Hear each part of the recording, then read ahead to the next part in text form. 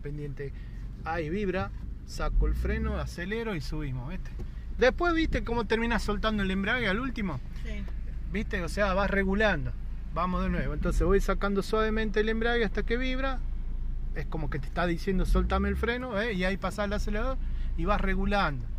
Porque si, también si, le- si, si te pasas del freno al acelerador, largas de golpe el, el embrague, se va a parar el auto. Entonces no, no es lo que estamos buscando, sino que es ahí. Ya está en primera, estamos en la pendiente, voy soltando, ahí vibró, suelto el freno, paso al acelerador y seguías manteniendo el embrague hasta que salió. ¿eh? Bueno, yo creo que esta. Esta está muy bien, vamos a hacer la última, estamos ahí, suelto y acelero, ¿eh? muy bien, y ahí terminas de soltar totalmente el embrague. Y lo que hace es como que te está diciendo, dale, quiero avanzar, ¿viste? Esa vibración que sentí apenas en el pie es que te dice, "Lor- largame, largame que Sí, quiero sí. avanzar. Entonces ahí largas el freno y pasas al acelerador.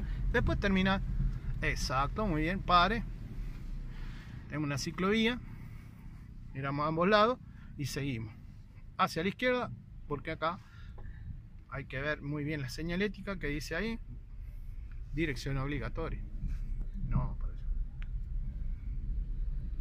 prioridad siempre los ciclistas Obviamente. obviamente y los peatones